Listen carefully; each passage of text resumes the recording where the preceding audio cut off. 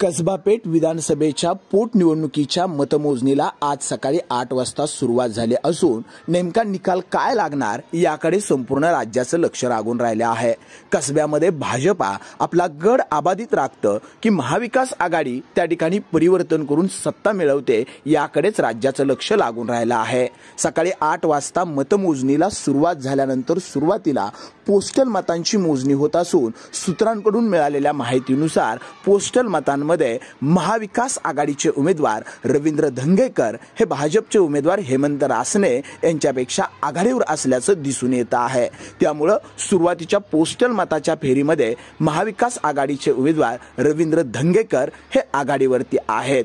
त्यामुळंच ऐकूनच अंतिम निकाल काय लागतो याकडे संपूर्ण राज्याचं लक्ष लागून राहिलं आहे. महाविकास आघाडीचे उमेदवार रवींद्र धंगेकर हे विजयाचा गुलाल उधळतात की भाजपाचे हेमंत रासने आपला बालेकिल्ला राखून विजयाचा गुलाल उधळतात हे पाहणं औत्सुक्याचं असणार आहे. मात्र सध्या तरी पहिल्या पोस्टल मतांच्या मतमोजणीच्या फेरीमध्ये महाविकास आघाडीचे उमेदवार रवींद्र धंगेकर हे आघाडीवर आहेत.